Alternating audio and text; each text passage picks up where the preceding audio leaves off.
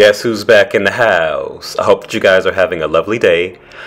Drag Race Season 13, Meet the Queens, dropped today, and I am so excited.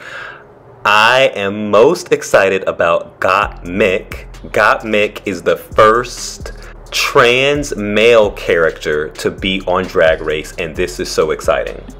Gottmik uh, pre-COVID was very active in the LA drag scene and is an incredible makeup artist and is also a celebrity makeup artist who actually put Lil Nas X in Nicki Minaj drag for Halloween this year and has worked with individuals like Heidi Klum, Tinashe, as well as others.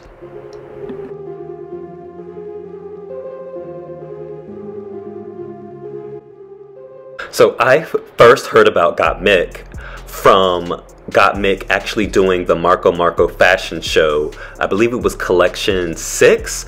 I am obsessed with Marco Marco and I try to follow all of the models in the show. And Gottmik really stood out because of the unusual name, as well as their unusual walk.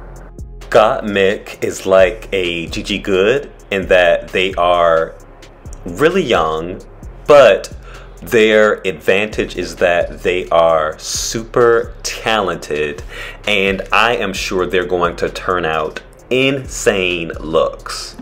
Just take a moment to appreciate this promo look. It is so punk rock that a trans man is also a drag queen who is now on RuPaul's Drag Race and if Gottmik wins, Gottmik would be the first trans person ever to win Drag Race, and I think there is a strong chance that Gottmik will win. I'm curious about your thoughts um, after watching like Meet the Queens. Who do you think is going to win? I really think uh, Gottmik will win, but if if they won't win, probably be top four. I hope that you are having a wonderful day. Until next time, Besos.